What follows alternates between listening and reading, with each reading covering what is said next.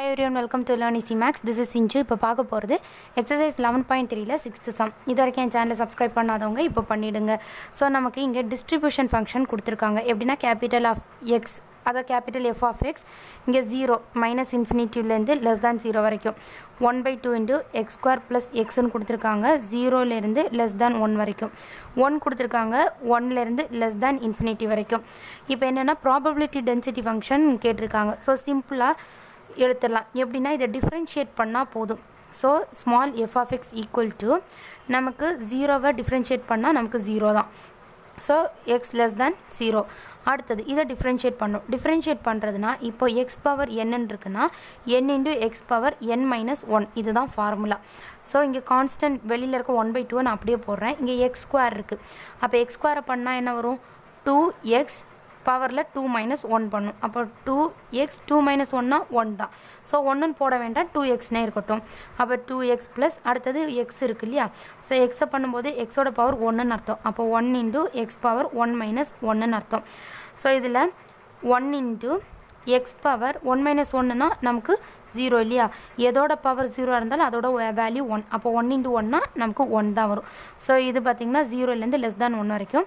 And ஒன்னை நம்ம differentiate பண்ணால் நமக்கு ஜீரோ கான்ஸ்டண்ட்டாக எப்போவுமே டிஃப்ரென்ஷியேட் பண்ணால் ஜீரோ தான் வரும். So one less than or equal to x less than infinity so முடிஞ்சிடுச்சு இல்லையா? இதை இன்னும் ஷார்ட்டாக எழுதணும்னா f of x equal to அதாவது one by two into two x plus one. எப்போன்னா zero less than x less than one zero அதர்வைஸ்னு எழுதிடலாம். ஏன்னா இங்கே ஜீரோ இங்கே ஜீரோ தான். இதுக்கு மட்டும்தானே வேல்யூ இருக்குது ஸோ இந்த வேல்யூ மட்டும் போட்டுக்கிட்டு ஜீரோ அதர்வைஸ்னு போட்டுடலாம். ஸோ முடிஞ்சிடுச்சு. இப்போது செகண்ட் பார்ட் பாருங்கள் p of zero point three less than or equal to x less than or equal to zero point சிக்ஸ்னு கேட்டிருக்காங்க. ஸோ நம்ம இதை எப்படி எழுதலாம்? F of zero point six minus f of zero point த்ரீன்னு போட்டுக்கலாம் இல்லையா? ஸோ எப்போவுமே டிஸ்ட்ரிபியூஷன் ஃபங்க்ஷன்லேருந்து தான் எடுப்போம். ஜீரோ பாயிண்ட் சிக்ஸ்ன்றது எந்த ரேஞ்சுக்குள்ளே வரும்?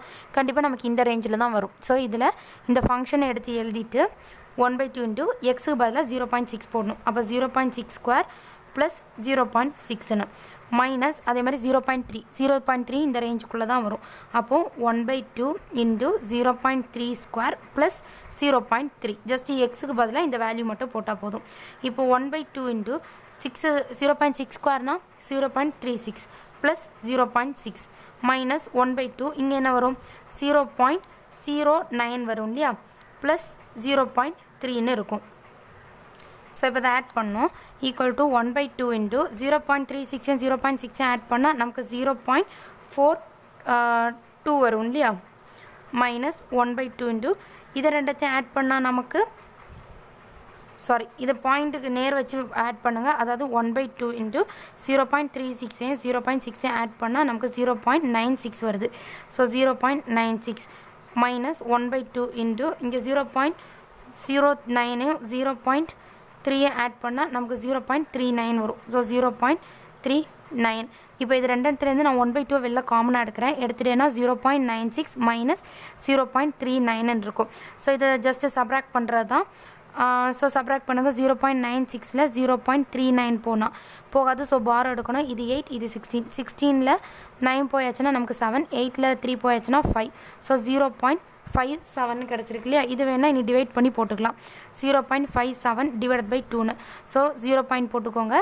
ஃபஸ்ட்டு டூ டூ சார் ஃபோர் ரிமைண்டர் ஒன் செவன்டீன் இருக்கும். Eight two sir sixteen reminder one so point வச்சனால zero add பண்ணிக்கலாம். Five two sir ten reminder is zero so the value is zero point two eight five அவ்வளோதான் இந்த sum thank you and don't forget to subscribe my channel